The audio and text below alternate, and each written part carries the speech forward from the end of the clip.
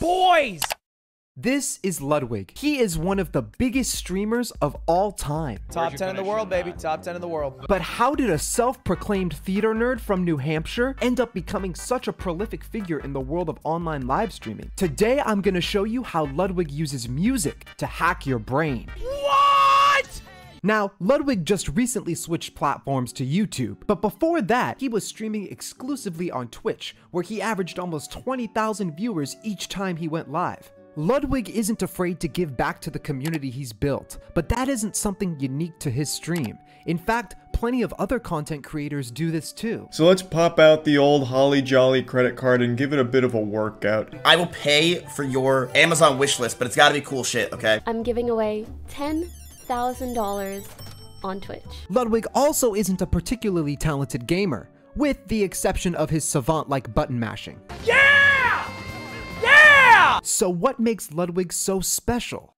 Count what you have now, don't count what you don't have.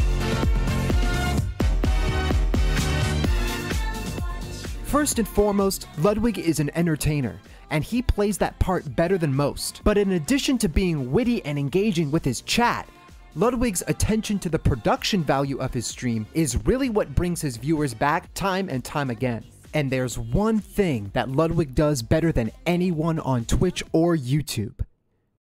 Music. Most streamers let the music of the games they play run in the background, and some don't have any music at all. But not only does Ludwig go to the lengths to find quality copyright-free music, he creates a narrative with the music he chooses and the way he speaks. Ludwig uses the music in his streams to tell stories and build suspense, the same way a composer would write music for an action film. No, not there.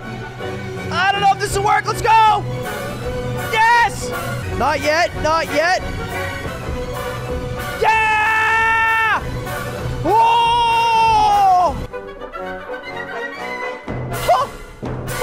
In fact, on some occasions, he hosts a live event where his chat picks the music for him. He organizes his stream into seasons and changes the soundtrack each time a new season begins. His community plays an active role in selecting the music with him, which only attaches them more to the content he creates. And of course, the iconic Count What You Have Now song stood in as a theme song for his channel for almost two years, until... Ludwig got to the point where the music of his channel started to transcend him as a creator. He began to make his own music. He would contract out professional musicians to help produce new tracks, and even an entire Christmas album that was completely royalty free. The entirety of Ludwig's music came full circle when he actually hired the band Dimension to create two original songs for his channel. This band made lots of the video game music from Mario Kart 8 that Ludwig had already been using on his stream for years, so it only made sense for him to go straight to the source. Ludwig tells stories with the music he chooses for his stream, and although he is an amazing entertainer, Ludwig's chat had to go to the lengths of finding great music for him to use to make his streams come alive too. Music is such an integral part of Ludwig's brand that without artists like Mariya Takeuchi, Youngbay, and Dimension, Ludwig's success would not have been slingshotted ahead the way it was. But quite honestly, the artist that has made the most impact on Ludwig as a personality and the way he uses his music is of course the original Ludwig Beethoven. You know what poop is? Hey, thanks so much for watching my video. This is the first video I've ever made, so if you liked it, make sure to subscribe and I'll make some more. See you next time, cupcakes.